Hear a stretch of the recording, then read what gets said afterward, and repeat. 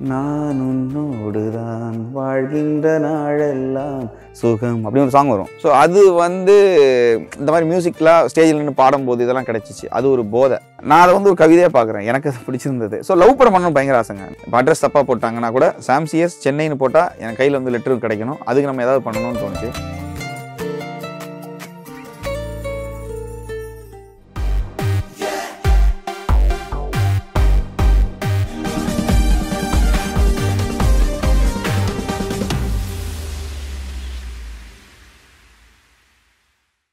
Hello and welcome to Cinema Express. I'm Chandni. Today we have uh, music composer Sam Sears with us. Hello, Sam. Hello hi. எப்படி இருக்கீங்க fine. Uh, so ஒரு இன்டர்வியூவில் பார்த்தேன் um, நீங்கள் சொல்லியிருந்தீங்க you are an accidental music கம்போசர்னு இப்போ ஒரு almost twelve years ஆச்சு and from Ambuli Vikram Vedha Kaithi Rocketry so how do you look at that journey ஆக்சிடென்ட்னா actually என்னன்னா வரணுங்கிற இப்போ சினிமா வந்து சின்ன வயசுல இருந்து ஒரு கனவு. அப்படிலாம் எதுவுமே கிடையாது. சும்மா நம்ம பாட்டுக்கு வந்து என்ன சொல்றது கல்ச்சரல்ஸ் போவோம். சர்ச்சில் கீபோர்ட் ப்ளே பண்ணியிருக்கேன். இங்க எல்லாமே வந்து நம்ம இப்போ சர்ச்சில் கீபோர்ட் ப்ளே பண்ணால் எல்லாரும் நம்மளை பார்ப்பாங்கன்னு தெரியும். என்ன சொல்றேன்னா எல்லாருக்குமே இந்த உலகத்தில் வந்து என்ன பண்ணுவாங்கன்னா ஏதாவது ஒன்று எல்லாரும் நம்மளை கவனிக்கணுங்கிற ஒரு எண்ணம் எல்லாருக்கும் இருக்கு நம்ம வீட்டில் இருக்கிறோன்னா இப்போ அக்கா தங்கச்சிங்க எல்லாருமே இருக்காங்கன்னா கூட அதில் வந்து மற்றவங்களாம் என்ன கவனிக்கணுங்கிற அந்த கவனிப்பு இருக்குல்ல. ஸோ அது வந்து இந்த மாதிரி மியூசிக்லாம் ஸ்டேஜில் நின்று பாடும்போது இதெல்லாம் கிடைச்சிச்சு. அது ஒரு போதை. ஸோ என்னென்னா ஐடி நான் எம்சி எம்பிஏ பண்ணேன். நான் ஐடி லைனில் இருந்தேன் டோட்டலாக நான் ஒரு கம்பெனியில் லாஸ்ட்டாக நான் கம்பெனி விட்டு வெளில வரும்போது ஒரு ஒன் லேக் பக்கமாக சேலரி. வாங்கிட்டு இருந்தேன். இதுதான் உண்மை. பட் என்னன்னா நான் லிரிக் எழுதணுங்கிற இன்ட்ரெஸ்ட் இருந்துச்சு. ஸோ ஒரு பா ஒரு படத்துக்கு சும்மா ஆல்பமுக்கு லிரிக் எழுத வந்தேன்.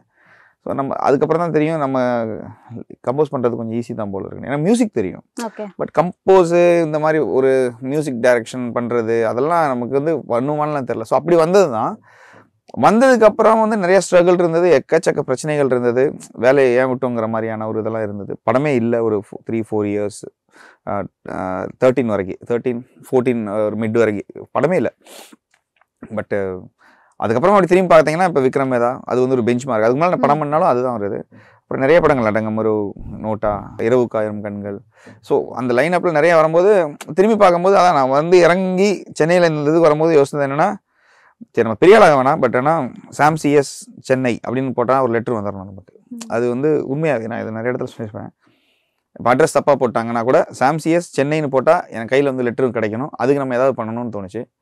ஸோ இப்போ அது அப்படி போட்டால் எனக்கு தெரிஞ்சு சர்ச் பண்ணி சாம் சிஎஸ் யாராக இருக்கும் சென்னையில் என்னடா ஒரு லெட்டருக்கு அட்ரஸ் எழுதலன்னு போட்டால் எடுத்தோடனே நம்ம ஃபோட்டோ வரும். சரி இவர் தான் போல இருக்கு அப்படின்னு கொடுத்துருவாங்க தேடி அப்படிங்கிற ஒரு நம்பிக்கை.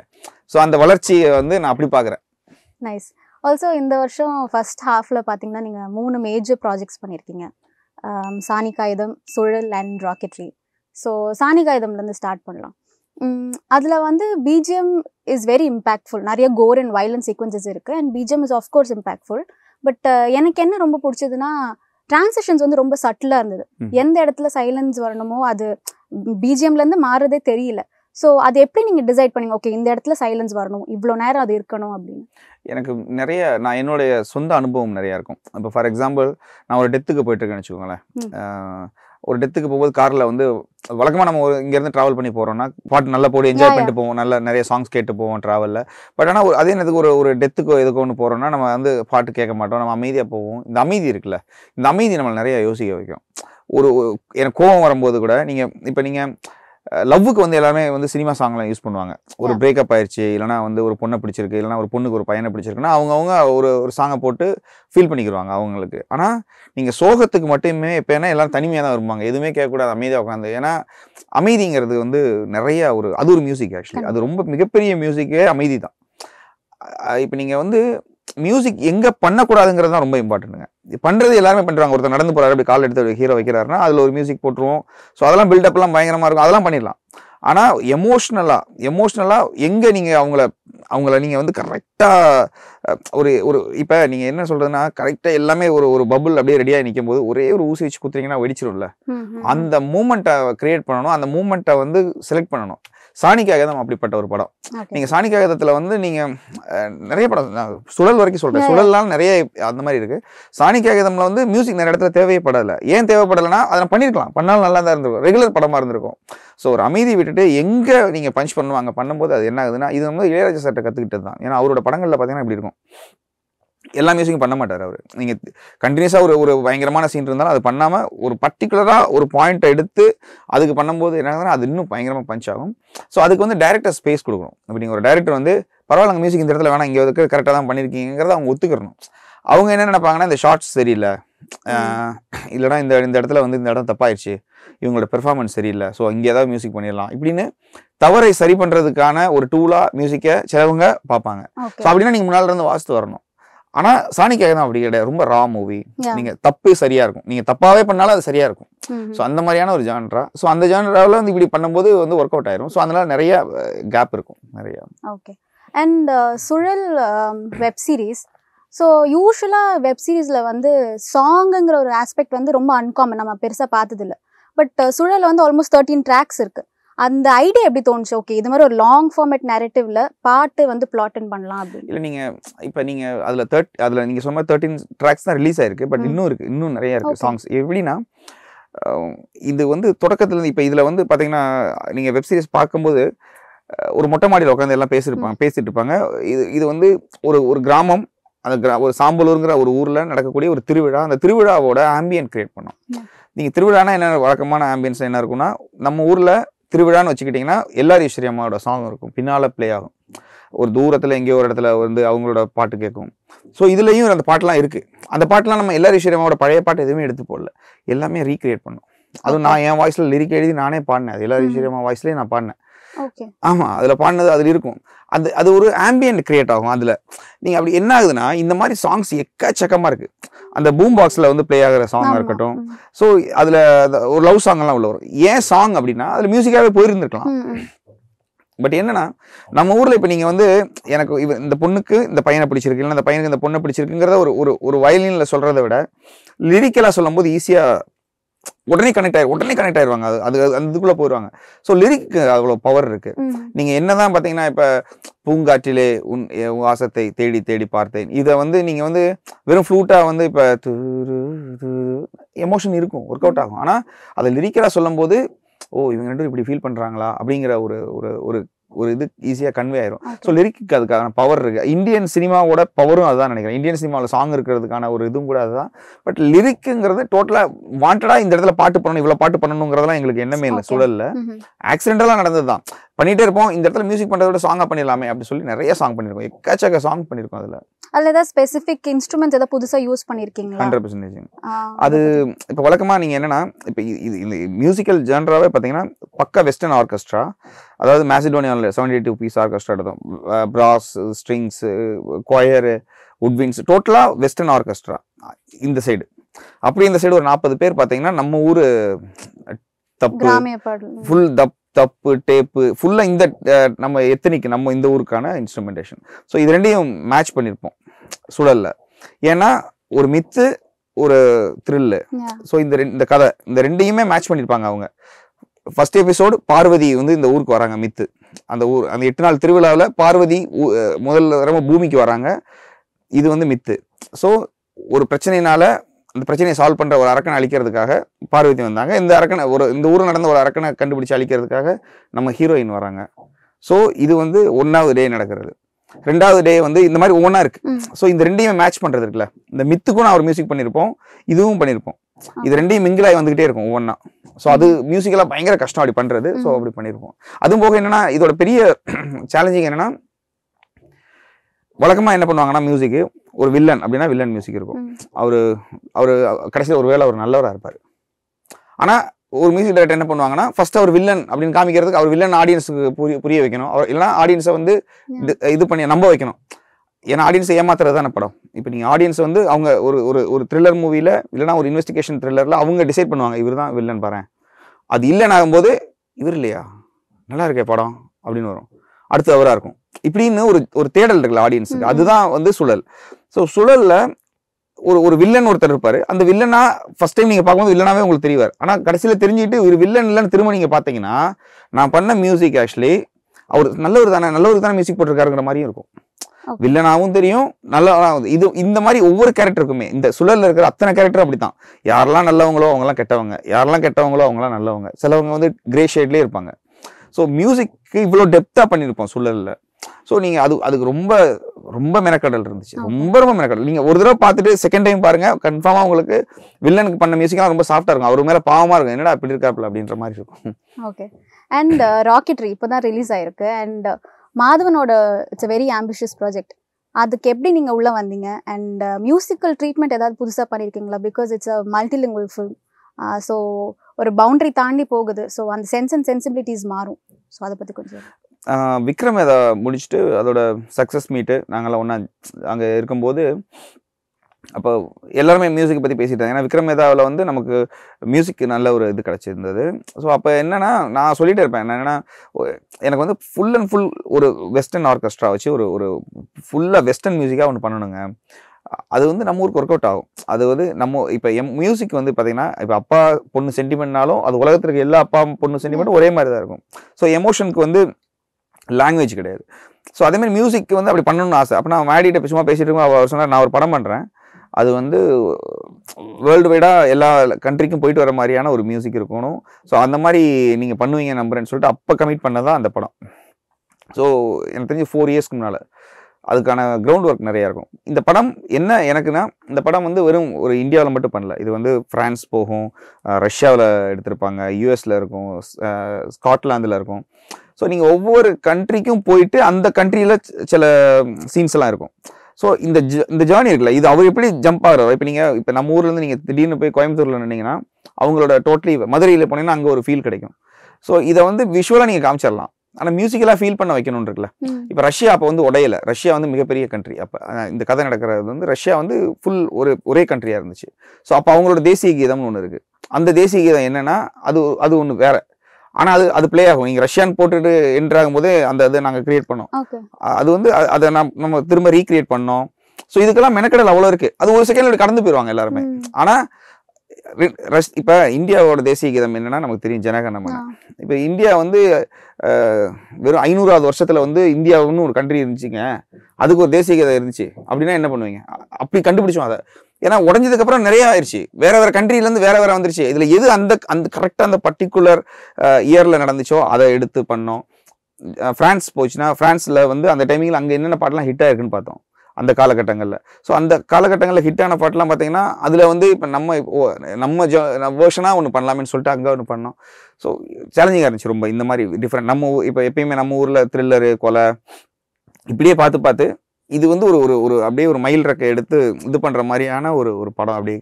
அப்புறம் உண்மை படம். இப்போ. நீங்கள் ராக்கெட்ரி வந்து இப்போ நீங்கள் மற்றதெல்லாம் படம். கதை ஒன்று கிரியேட் பண்ணுறோம் கற்பனைக்கு கற்பனை பண்ணி பண்ணுறோம் இப்போ நீங்கள் இப்போ ஒன்றுமே இல்லை. எவ்வளோ பெரிய ஹீரோவாக இருந்தாலும் அவர் அவர் வந்து இந்த குழந்தை மேலே பாசம் வச்சிருக்காருங்க. இல்லைன்னா கொல்ல போறாருன்னா நீங்கள் எண்ட் ஆஃப் த டே கதைக்குள்ளே போயிருவீங்க. ஆனால் அந்த ஹீரோ பண்ணுறாருங்க போது அந்த ஹீரோ இதுக்கு முந்தின படத்தில் வேற மாதிரி பண்ணி பண்ணியிருக்கலாம். ஸோ உங்களுக்கு மென்டலி என்ன ஆவீங்கன்னா இது ஒரு படம் இது ஒரு சாதாரண படம் அப்படிங்கிற மூடு தான் வரும். ஆனால் ராக்கெட்ரி மட்டும் அப்படி இல்லை. ஏன்னா ஒரிஜினல் ஸ்டோரி ஒருத்தர். ஒரு நம்பி நாராயணன் அப்படிங்கிற ஒருத்தரோட ஒரிஜினல் கதைங்கிறதுனால நீங்கள் ட்ராமா பண்ண முடியாது. இப்போ நீங்கள் எக்ஸ்ட்ரா ஒரு பில்டப் பண்ண முடியாது. ஏன்னா அந்த ரியல் எசன்ஸ் மிஸ் ஆயிடவே கூடாது. அந்த எமோஷன் மிஸ் ஆயிடக்கூடாது ஆனால் ஆடி இப்போ படமாக்குறவங்க வந்து என்னதான் உங்களுக்கு எப்- ஒரு ஒரு பயோபிக்காக இருந்தாலும் அவங்களுக்கு அந்த சுவாரஸ்யம் குறையாம ஒரு ரெண்டு மணி நேரம் உட்காரணும் தேட்டரில் ஸோ அதுக்கும் அதையும் மேலே பேலன்ஸ் பண்ணணும். சினிமாட்டிக்காக ஒரு விஷயமும் பேலன்ஸ் பண்ணணும். அந்த எசன்ஸும் மிஸ் மிஸ் ஆயிடக்கூடாது ஸோ அந்த ஒரு சேலஞ்சிங் இருந்துச்சு. ஸோ அது அது இப்போ இப்போ எல்லாம் தேட்டரில் பார்த்துட்டு எல்லாமே சொல்லும்போது ரொம்ப சந்தோஷமா இருக்கு. நைஸ் ஆல்சோ இப்போ நீங்கள் சொன்னீங்க நிறைய த்ரில்லர்ஸ் பண்ணியிருக்கீங்கன்னு உங்கள் டிஸ்கோகிராஃபி பார்த்தாலும் மெஜாரிட்டி நிறைய த்ரில்லர் ஃபிலிம்ஸ் ஸோ த்ரில்லர் உங்களை சூஸ் பண்ணதா? இல்லை நீங்கள் த்ரில்லர் ஃபிலிம்ஸ் சூஸ் பண்ணுறீங்களா த்ரில்லர் வந்து என்ன சூஸ் பண்ணுதா? இல்லைங்க எனக்கும் லவ் இதெல்லாம் பண்ணணும்னு ஆசை. அதான் புஷ்கர் சார் கேட்பாரு என்னன்னா இந்த சுழல்ல வந்து ரெண்டு அந்த பசங்க ரெண்டு பேரோட லவ். சீக்வன்ஸுக்கு ஒரு பாட்டெல்லாம் போட்டிருப்பேன். நான் உன்னோடுதான் வாழ்கின்ற நாளெல்லாம் சுகம் அப்படின்னு ஒரு சாங் வரும். இது சுழல் மாதிரியான ஒரு ஸ்கிரிப்டுக்கு இந்த பாட்டெல்லாம் தேவையில்லை. ஏன்னா ஒரு ரெண்டு பேர் லவ் பண்ணுறாங்க அவ்வளோதானே அப்படி லவ் பண்ணிட்டு போயிடலாமே இருக்கும். ஆனால் நான் அதை வந்து எப்படி பார்த்தேன்னா அந்த லவ் தான் படமே. அவங்க ரெண்டு பேரும் ஏன் லவ் பண்ணாங்க? அப்படிங்கிறது தான் இது. இல்லைன்னா நடந்திருக்காது. மயான கொள்ளை அடிக்கடி நடந்துட்டு தானே இருக்கு. ஸோ இவங்க ரெண்டு பேரும் இந்த லவ் பண்ணி இவங்களுக்கு ஒரு பிரச்சனை அதனால அப்படி ஆயிடுச்சுங்கிறது ஒரு ஒரு ஒரு லேயர் இருக்குல்ல. ஸோ நான் விக்ரமேதா தொடங்குனது கூட அப்படி தான் நீங்கள் விக்ரமேதாங்கிற ஒரு படம் எல்லாமே எடுத்த உடனே கேங்ஸ்டர் அப்படியே விக்ரமேதா வேதா வந்து நடந்து வந்துட்டா. அப்படி இல்லை. அதில் வந்து பார்த்தீங்கன்னா வேதாவோட தம்பி ஒரு பையன் இருப்பான் புள்ளின்னு ஒரு சின்ன பையன். அந்த பையனை வந்து கையில் வந்து ஒரு கம்பி வச்சு குத்திடுவாங்க ஒரு சீனில் ஸோ வேதா அது வரைக்கும் சின்ன சின்ன ரவுடி. ரவுடினா பெரிய ஆள்லாம் கிடையாது. சும்மா சின்ன பெட்டி கேஸ் இந்த மாதிரி போகக்கூடிய ஒரு ஆள் தான். ஸோ அந்த கையில் குத்து இருந்து தான் அவர் பெரிய மிகப்பெரிய ஒரு ரவுடியாக மாறுறாரு. அந்த பசங்க அந்த குத்துறதுக்கு முன்னால் விளையாட போவாங்க. அப்போ நான் ஒரு பாட்டு போட்டிருப்பேன். இது வந்து படத்தில் ஃபர்ஸ்ட்ல வராது இடையில வரும். ஃப்ளாஷ்பேக்கில் காக்கா கரைஞ்சதுமே கோழி முழிச்சிருச்சா இப்படி ஒரு பாட்டு பசங்க விளையாட போகிற பாட்டு. ஸோ இந்த பாட்டு தான் இந்த பாட்டு பாடிட்டு அவங்க பசங்க விளையாட போவாங்க. அப்போ நடந்துருது இவர் ரவுடி ஆறாரு அப்போ அதுதான் தன்னு அது வந்து மாறுது. ஸோ இதுக்கான லேயர் அதுதான் நீ எங்க தொடங்கினாரு? வே- வேதான்னு ஒரு கேரக்டர் எங்க ஸ்டார்ட் ஆனாருன்னா இந்த புள்ளி அவர் தம்பியில இருந்து ஸோ அங்க ஆரம்பிச்சது தான் பிரம்மாண்டமா வந்து நிற்கும் சுழல் சேம் அதே மாதிரி தான். இந்த லவ் இந்த பசங்க அவங்க கேட்டாங்க எதுக்கு இவ்வளோ இது இது பண்ணணும்?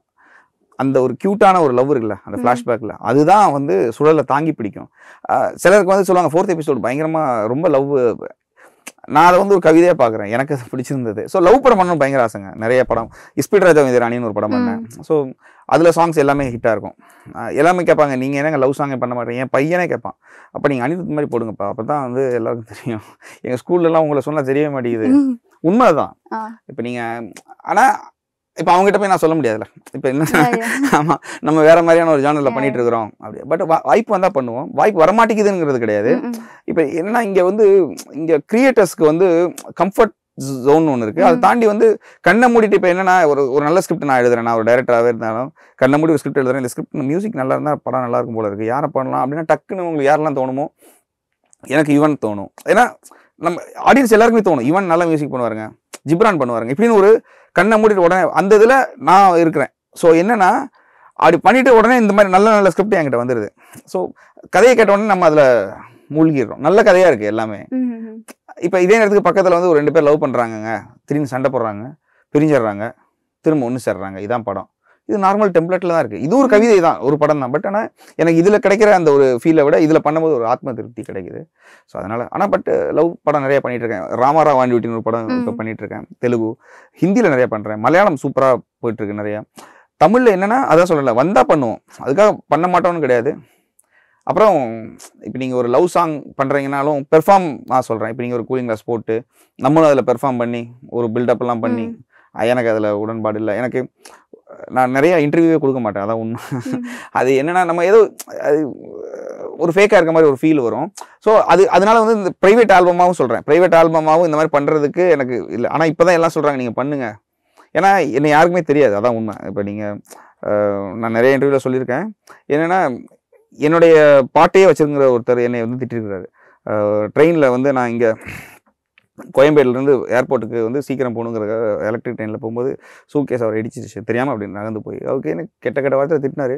சாரி என்ன தெரியாமல் தானே. சரி ஓகே விடுங்க. நான் உடனே அவருக்கு வந்து தனன நாங்கள் அந்த இதுதான் வந்து அவரோட ரிங்டோன் அவருக்கு தெரியாது நான் தான் சாம் சிஎஸ்ன்னு தெரியாது. ஸோ இதுக்காக ஃபீல் பண்ணுறதா இல்லை என் பாட்டு வச்சுருக்காரு. என் பாட்டு ஹிட் ஆயிடுச்சு அதனால தான் அவர் ரிங்டோனாக வச்சுருக்காருங்கிறதுக்காக சந்தோஷப்படுறதான்னு கேட்டால் நான் ரெண்டாவது எடுத்துக்கிறேன். அதில் ஒரு ஃபீல் இருக்குங்க. இப்போ நான் வந்து எல்லா மாலுக்கும் போகிறேன். ஜாலியாக டீ கடையில் பழைய முன்னால் இருந்த மாதிரி டீ கடையில் வடையெல்லாம் சாப்பிட்டு நல்லா டீ எல்லாம் குடிச்சு ஜாலியாக இருக்குது யாருக்குமே தெரில நல்லா இருக்கு. பட் இப்போ நீங்கள் சொல்லும் போது எனக்கு ஞாபகம் வந்தது என்னன்னா இப்போ நம்ம நிறைய பாட்டு கேட்போம். இன்ஸ்டாகிராம் ரீல்ஸ் அது மாதிரிலாம் நம்ம பார்ப்போம்.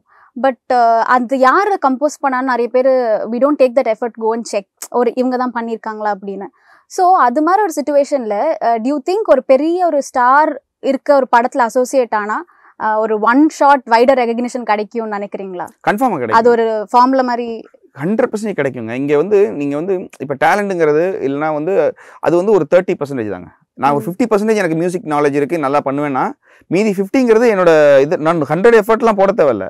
மீதி ஃபிஃப்டிங்கிறது என்னன்னா மார்க்கெட்டிங் மார்க்கெட்டிங்கிறது மிகப்பெரிய விஷயங்க. எல்லாத்துக்குமே. நான் சொல்கிறது வந்து நீங்கள் வந்து இப்போ நான் ஒரு சூப்பர் ஜூஸ் போட்டு தரேங்க. வேறு லெவல் ஜூஸ் அது மாதிரி உலகத்திலே கிடையாது. அப்படியே ஒரு ஜூஸ் கொடுக்குறேன். அதை விட நீங்கள் அதை நம்புவீங்களா நம்ப மாட்டேங்கன்னு தெரியாது. ஏன்னா ஒரு கிளாஸில் இருக்கும்.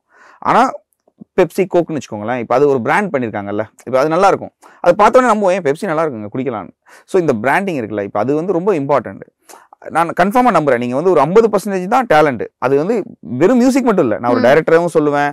ஒரு ஹீரோவாக இருந்தால் யாராக இருந்தாலும் மார்க்கெட்டிங்கிறது ரொம்ப இம்பார்ட்டன்ட் இப்போ. நீங்கள் ரீல்ஸ் போடுறாங்க வியூஸ் எல்லாம் வருதுல்ல. இப்போ நீங்கள் நீங்கள் சொல்கிற மாதிரி வியூஸு இதெல்லாமே வந்து எனக்கு என்னமோ ஒரு போலியாக இருக்குது இது வந்து இப்போ நீங்கள் அதிக வியூஸ் வந்துச்சுன்னா அது ஹிட்டுங்கிற மாதிரி நான் எனக்கு அந்த கான்செப்ட் எனக்கு உடன்பாடு ஓகே ஸோ இப்போ நீங்கள் கம்போஸ் பண்ணும்போது அந்த ரீல் ட்ரெண்டு சோஷியல் மீடியாவில் வைரல் ஆகுமா? அது will it affect you okay இது மனசில் வச்சு பண்ணணும் அப்படிங்கிற மாதிரி. இல்ல உண்மையாவே இல்ல. அது ஏன்னா இருக்கு ஆசை இருக்குங்க. பட் ஆனா அதை ஃபேக்கா வந்து அதை புல் பண்றதுக்கு எனக்கு விருப்பம் கிடையாதுங்கிறேன். சிறந்த எக்ஸாம்பிள் இதாங்க. நீங்க வந்து இப்போ நான் வந்து இந்த ட்ரெஸ் போட்டுட்டு நான் நடந்து போனா என்னை வந்து ஒரு அஞ்சு பேர் பார்ப்பாங்க. இதே ட்ரெஸ்ஸை கழட்டி போட்டு நான் ஓடினா ஆயிரம் பேர் பார்ப்பான். கரெக்டா என்னை எல்லாரும் பார்த்துட்டாங்கங்கிறதுக்காக நான் பண்ணது கரெக்ட்டுங்கிறது கிடையாது. ஸோ இங்க வந்து ஒரு நல்ல கம்போசரோ இல்ல ஒரு புது கம்போசரோ ஒரு அழகான பாட்டு பண்ணியிருக்கான். அது ஹிட் ஆகலை. ஓகே அதுக்காக வந்து நல்ல பாட்டு இல்லைனோ இல்லை வந்து அப்படின்னு அர்த்தம் கிடையாது. இன்னொருத்தவங்க ஒரு மொக்க பாட்டாக இருக்கலாம் ஆனால் அது வந்து மிகப்பெரிய லெவலில் வந்து ரீச் ஆயிருக்கு. அதுக்காக அது நல்ல பாட்டா அப்படின்னு கிடையாது. ஸோ என்னன்னா இதோட வேல்யூ எவ்வளோ எவ்வளோ நாள் இருக்குங்கிறது தான். சிம்பிள்ங்க பாட்டு கேட்குறவங்களோட பர்சன்டேஜ் இருக்கிறதுங்களா பார்த்தீங்களா முப்பது வயசுக்கு மேலே யாருமே பாட்டு கேட்கறது இல்லைங்க இப்போ. எல்லாருக்கும் இஎம்ஐ பிரச்சனை குடும்ப பிரச்சனை பொண்டாட்டி கூட பிரச்சனை இது மாதிரி எக்கச்சக்க பிரச்சனை. இந்த முப்பது வயசுக்கு மேலே இருக்க எல்லாருக்குமே. யாருமே பாட்டு நீங்கள் யார்கிட்ட வேணாலும் கேளுங்க பாட்டு கேட்டுருக்க மாட்டாங்க. லாஸ்ட்டாக போன வாரம் ரிலீஸ் ஆன பாட்டு கண்ணுக்கு தெரியாமல் அப்படி போகும்போது இந்த எஃப்எம்ல கேட்குறது பாட்டு நீ கேட்டே ஆகணுங்கிற மாதிரிலாம் யாருமே கிடையாதுங்க. கேட்குறதெல்லாம் சின்ன பசங்க டுவெண்ட்டிலேருந்து தேர்ட்டி வயசு அவங்களுக்கு என்ன பாட்டு பிடிக்கும்னா அவங்களுக்கு ரெண்டு வருஷத்துக்கு முன்னால் ஹிட்டான பாட்டு இருக்குல்ல அதுவே இப்போ கேட்க மாட்டாங்க. போன வருஷம் ஹிட்டான பாட்டை கேட்க மாட்டாங்க. மாறிக்கிட்டே இருக்குது ஆனால் இளையராஜா சார் பாட்டை எழுதி நீங்கள் சொல்றீங்கல்ல ரீல்ஸ் போடுறவங்க வந்து யார் மியூசிக்னே போக மாட்டாங்கன்னு ஏன்னா அவங்களுக்கு அதுக்கு டைம் கிடையாது.